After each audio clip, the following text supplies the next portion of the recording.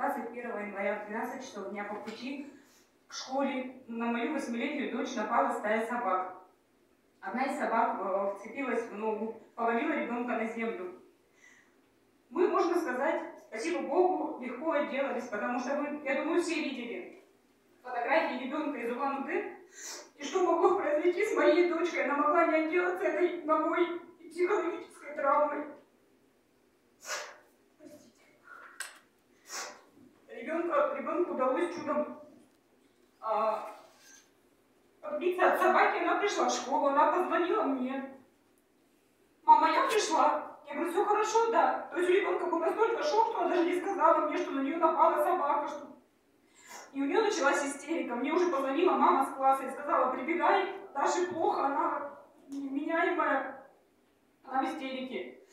Ребенка я забрала, привела домой, причем вела ребенка опять мимо же этой своры собак, которая находится в спальном районе во дворе, в пяти минутах от школы.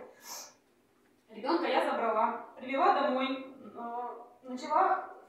А, причем я зашла в управляющую компанию неподалеку и спросила номер телефона по отлову собак, на что мне сказали, ищите в интернете. А я поинтересовалась, э, управляющая компания несет какую-то ответственность за эту территорию, где эти собаки. Мне сказали, нет, это вообще не наше дело, мы никак к этому не причастны. Пришла домой, э, позвонила по телефону, который нашла это был питомник К9, на что они сказали, что мы только платно а, отлавливаем собак, мы вам ничем не можем помочь. Звоните в полицию. Я позвонила в полицию, приехал наряд, взял мои письменные объяснения по этому поводу. И дали телефон, опять же, того же К9. Я снова позвонила туда, они снова мне указали, что они работают только платно. Я позвонила по номеру, который нашла в интернете, 520-135. На что мне сказали, что очень критическая ситуация в районе, особенно в Ленинском, что ежедневно поступают звонки от жителей района, и у них всего одна подрядная организация, который всего один работник, который приезжает на место и ничего сделать со сворой собак не может, пока ловит одну, остальные собаки разбегаются. Далее, на следующий день э, я обратилась в прокуратуру, составила иск. Э, на следующий день я была в Следственном комитете, чтобы это дело не ушло, не, не замолчали, чтобы это было на слуху, чтобы можно было это отследить.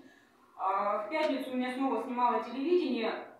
В пятницу я обратилась к нашему депутату по Ленинскому району. И вот я здесь, он меня сюда пригласил.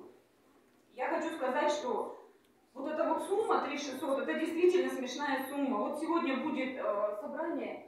Пожалуйста, реально просчитайте по ценам Иркутска, Э, все манипуляции с одной хотя бы собакой.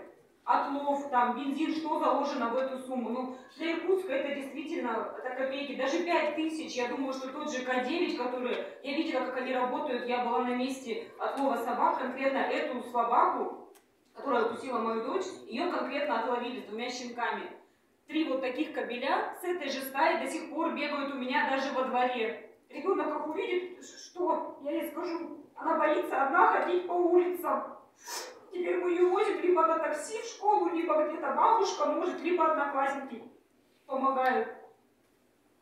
И то есть, даже пять тысяч, мне кажется, это мало. Чуть-чуть хотя бы еще надбавить, чтобы сами приюты, ну, сами вот эти подрядные организации от Лова, чтобы они сказали, какую они сумму видят.